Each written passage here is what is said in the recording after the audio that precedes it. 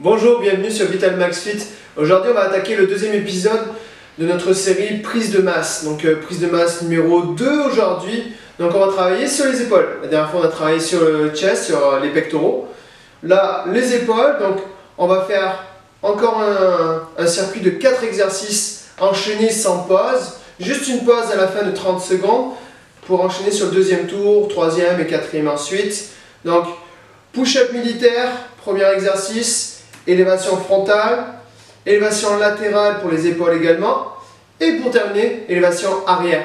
Donc on peut faire ça avec des poids libres si on en a chez soi. Donc je vous montre.